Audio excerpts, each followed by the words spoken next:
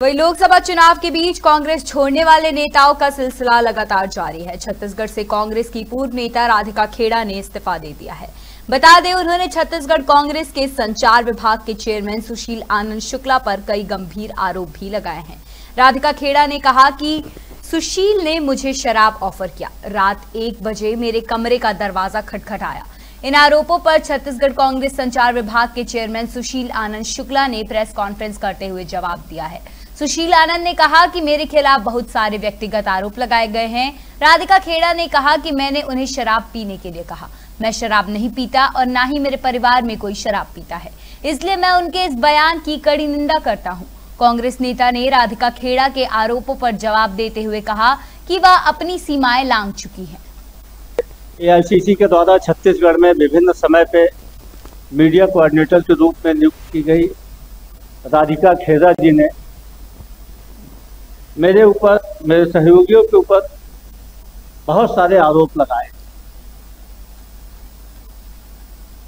मेरी चरित्र हत्या का भी प्रयास उन्होंने किया है। उन्होंने यहाँ तक भी आरोप लगाया है। कि मैंने उनको शराब ऑफ़र किया था।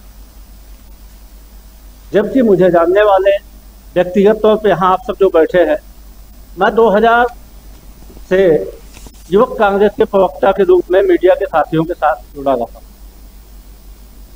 तो इस बात को कोई नहीं मान सकता कि सुशील आनंद शुक्ला शराब पीता है।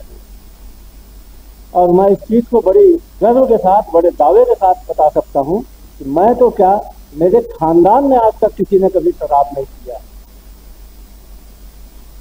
तो मेरे ऊपर यह आरोप जो लगाया गया कि मैंने उनको शराब आफत किया था, मैं आप सबके सामने इसका खंडन करता हूँ। उन्होंने मर्यादाओं की सीमा को ताक पे रख के वे जाए, भारतीय जनता पार्टी, उनका स्वागत है, मेरी शुभकामनाएँ हैं, मेरी छोटी बहन के समान थी, लेकिन उन्होंने मर्यादाओं की सीमा को, अभद्रता की सीमा को, आरोप लगाने की सीमा को भी पार करके बोला कि रात को एक बजे मैंने उनका दरवाज़ा ठोका। जबकि भारत जोड़ो यात्रा फरवरी में आई थी। संभवतः ग्यारह या बारह फरवरी को छत्तीसगढ़ आई थी। मैं रायगढ़ में शामिल हुआ था, शक्ति में शामिल हुआ था।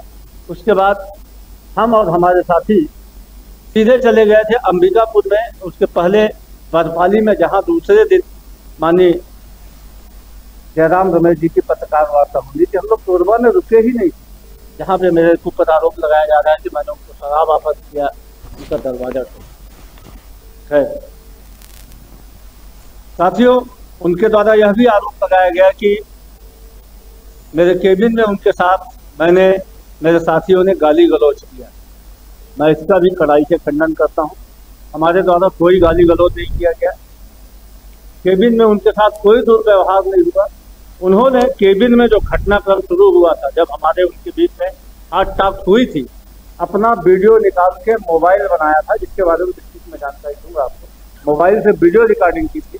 मैं आप सबके माध्यम से यह उनको चुनौती देता हूँ और मांग करता हूँ कि उस वीडियो को सार्वजनिक कर दे, उस कमरे में जो वीडियो है। सारे घटनाक्रम क्रिस्टल क्लियर क्लियर हो जाएँगे, दूध का दूध, पानी का पानी हो जाएगा। जब मेरे उसके बीच में बहस की शुरुआत हुई थी तो उन्होंने वीडियो बनाना शुरू किया था। बमुश्किल से एक मिनट का मामला था, उनके पास वीडियो है। उस वीडियो को उन्होंने सार्वजनिक करने की धमकी अपने ट्वीट में भी की थी और मैं आज बोलता हूँ चुनौती देता हूँ कि उस धमकी को सार्वजनिक करके सारी चीज़ें क्लियर हो जाए।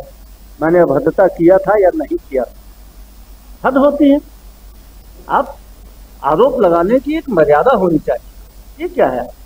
मतलब सारी सभ्यता सारी शिष्टता की सीमा को उन्होंने पाल कर दिया और वो किसी भी हद तक जा सकती है हमें पूरा भरोसा है।